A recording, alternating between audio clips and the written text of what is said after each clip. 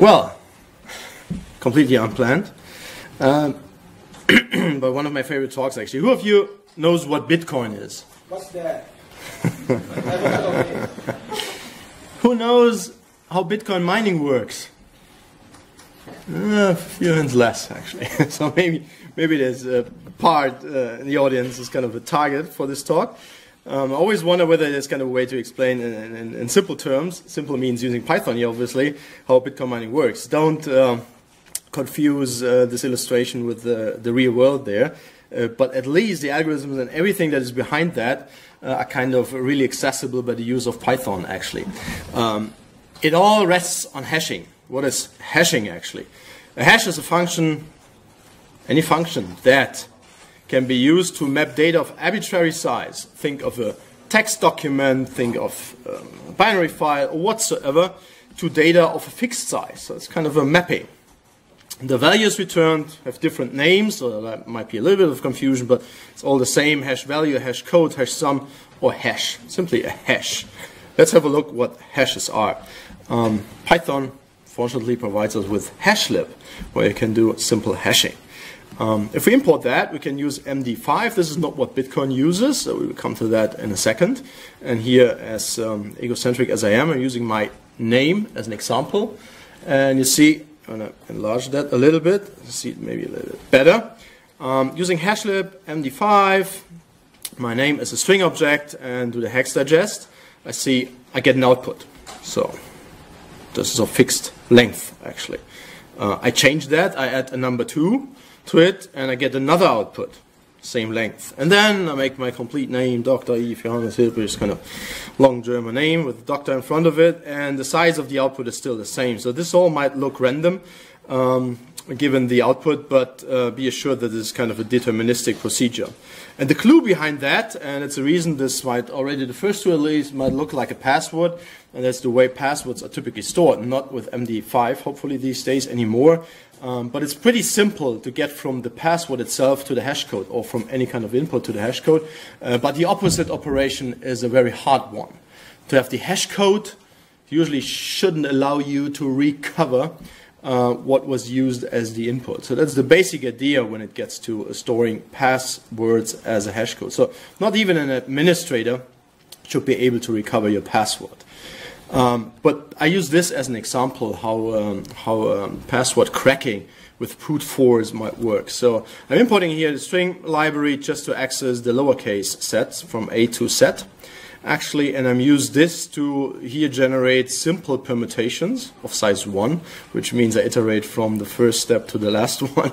Uh, there are other ways to do that, but I will use permutations later on to generate passwords uh, or to do the brute force. And you see A, B, C, D, the single characters lowercase, they all generate hashes of the same size. Again, seems random, but it's a deterministic procedure.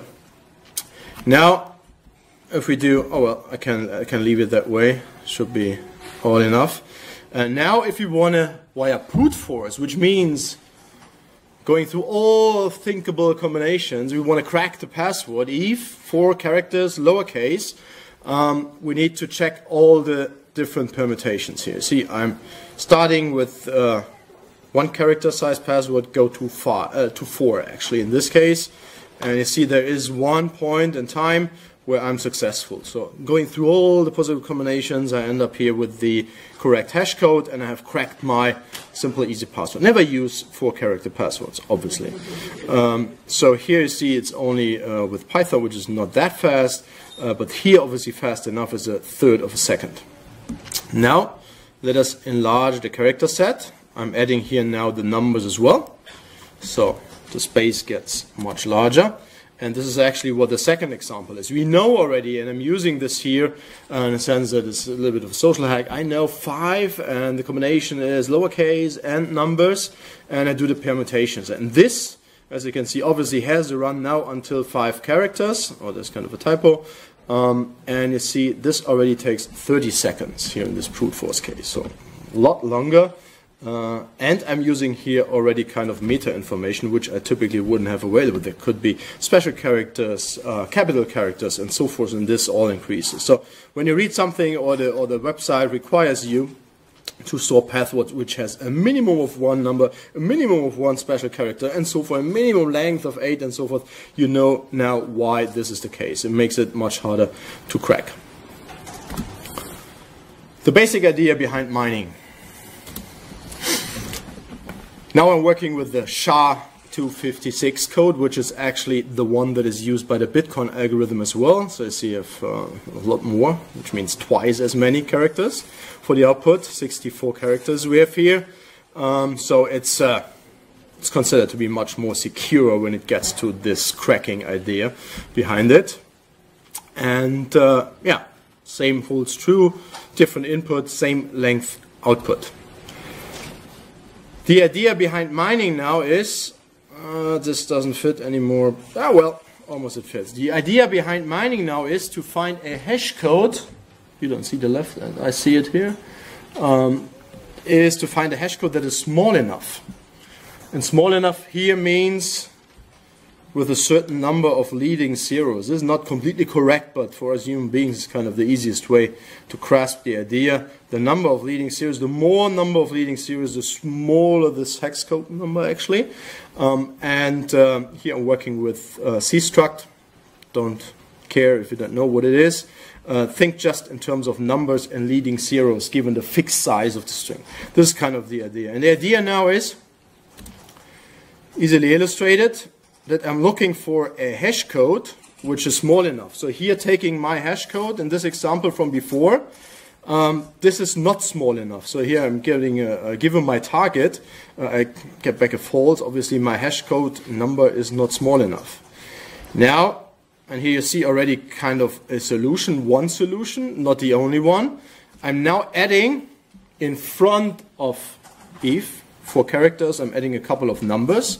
And you see what I end up with is something that is now indeed small enough. So changing the input, changing the input step by step by step, or here I've, I've figured it out and simply put it in here, I can find a combination which is indeed small enough. And in an application, this would mean, so I presented the results, so to say, first, that I iterate over my string, my input string, adding numbers, numbers, numbers, increasing the numbers is called nonce in the algorithm. And I'm always checking by adding a number and recalculating the hash code, recalculating whether it's small enough or not. So it's simply brute force algorithm. I see here I'm iterating 2.5 million times and so forth. And here you see this is the solution I presented first, where I find the first one.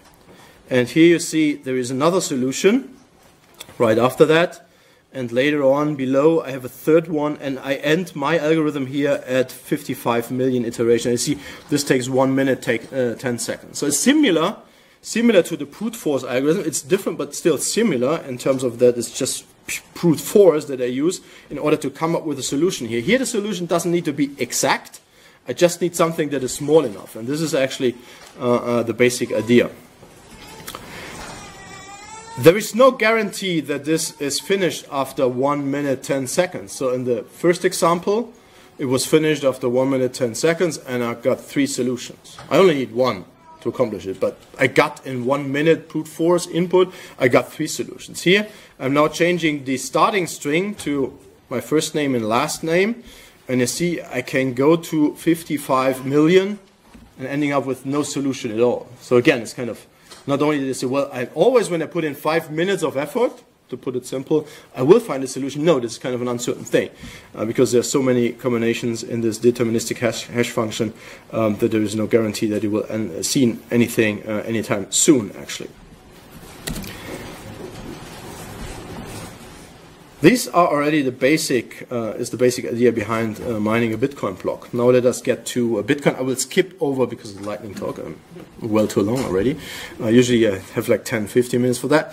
Um, skipping the unimportant parts. The important part here is the Bitcoin block, which is comprised of certain inputs. Think of the, the whole thing as lots of components. Think of this whole thing with the transaction data below and so forth as kind of the input. We had it before, no matter how large the input, we always end up with something of fixed length. Uh, I, my examples were simple strings with a couple of characters here. The input is a little bit larger. So, but this is the only difference, if you like. Um, now the translation into Python code. Again, details are not relevant, but I translate the data into my Python world, um, do a little bit of number crunch. This is just to look up a couple of things, not that important. And here, this is important for this particular block that I'm working with, uh, and I got this from a blog post. I provided the reference here. You find it on my website. Um, for this particular block, the target number was like that. You see many, many leading zeros, or many more than in my previous example. Um, so this is kind of the, the threshold which we must pass. We must find a code that is smaller than this particular target hex string. This is just struct, this is uh, more or less technique. Um, this is the nonce I'm starting with. So typically what I would do is start at zero, adding one, two, three, four, five, and go through all the things. I did it before, 55 million and so forth. Here we will find something below 1 billion and above 850. That's the reason why I'm starting here, otherwise it takes so long on my machine with Python. Um, and in principle, now we have reached the point of the real mining procedure. This is indeed kind of how the algorithm looks. This is not more than what I presented before. Um, start with the nonce of zero. I increase the nonce, not zero. Typically, I would start with zero. Here, in my example, I start at 850 million. I increase it one by one do the packing of my, of my new string, so to say, if you like, do the hashing, and the hash algorithm here is 2 times SHA-256. You see here the header is first hashed and then hashed for a second time. So I have uh, two layers, if you like. And the rest is only to check whether the hash string is smaller than the target string. That's the complete idea.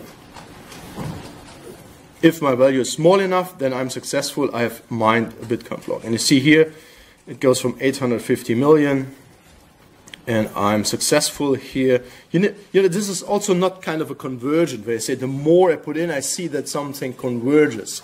Uh, in that sense, the algorithm is kind of uh, random, stochastic, uh, although the, the mechanism is uh, deterministic. And you see here at this particular iteration, uh, announce value, I, uh, I am successful. And since I started kind of in a sophisticated fashion, it's only 25 seconds. So this is all, if you understand the hashing and what I've presented before, this is what this whole thing looks like. Finally, the Merkle hash, this is kind of an end note um, because it's the one thing is the mining, the other one is that all the transactions, I pay you for something, get something from you, and so forth, is embedded in this block as well. And here you see in this block, I think there have been like kind of 100 transactions embodied themselves by a SHA-256 code and they are all encoded in the Merkle hash, and the Merkle hash works in a way that if you have 100 transactions, you have 50 pairs, and these two are put together and hashed. Then you have half the number, then again two. It's kind of a pairwise thing, like a pyramid, and you end up with a single thing. But there are many, many hash operations on one layer as well as layering up on top of that. Uh, and since the, the algorithm is already really hard to crack for uh, a single um, yeah, input value. You see, through this layering, it gets more and more complicated, and uh, the computational effort to reverse the procedure is kind of immense and huge. And uh, you see here, this is kind of with this function that you have seen, it's very small Python code. You can yeah, aggregate all the transactions, be them 10, 50, 500, into a single hash, and this is part of the block and gets hashed again. So you have every instance we have hashing, and this is in principle how Bitcoin mining works. And um, don't try it with Python. They have uh, they have now these ASICs available, um, the circuits that are uh, algorithm specific, which means they can do a giga hash per second or multiple giga hashes per second, while we are able here to do maybe a couple of hundred thousand hashes per second. But this is how Bitcoin mining works, explained based on Python. That's it.